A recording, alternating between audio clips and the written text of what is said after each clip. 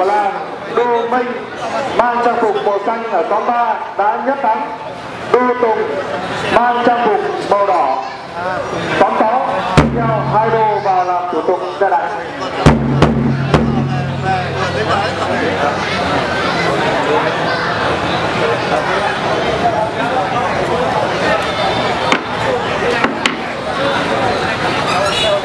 Hai đôi chuẩn bị, nghe trọng tài chống xe đạp.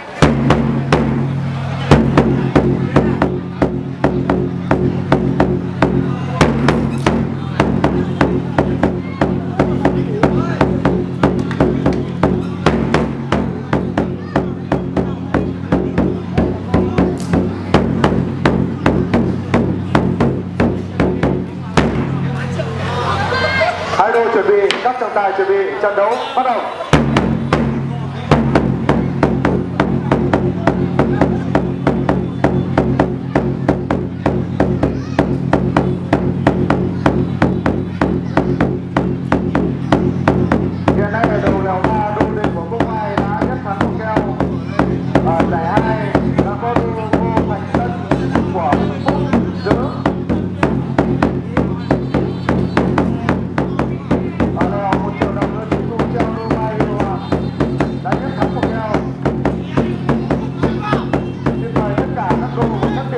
Vào đăng ký giữ và phá các giải.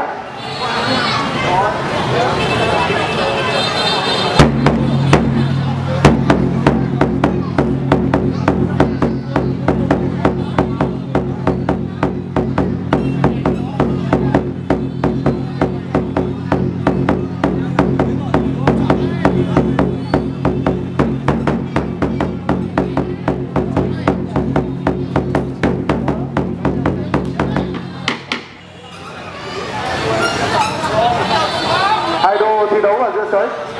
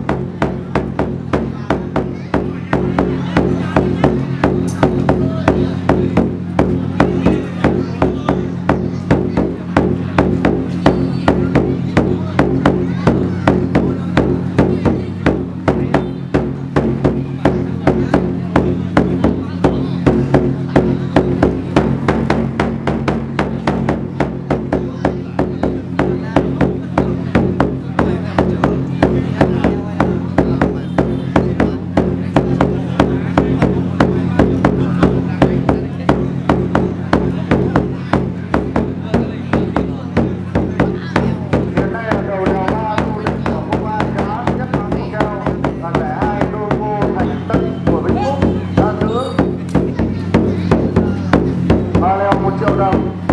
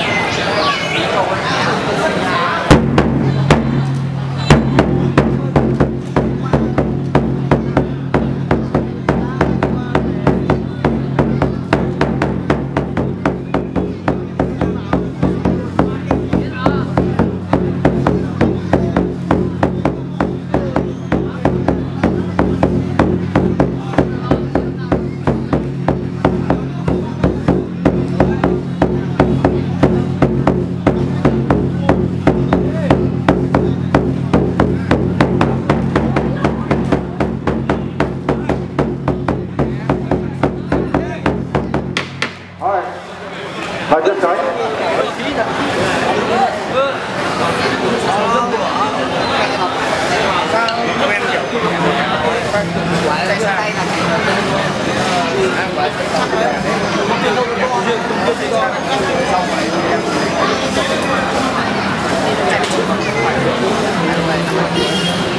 trận đấu tiếp tục top trận à, là đô long và đô tử chuẩn bị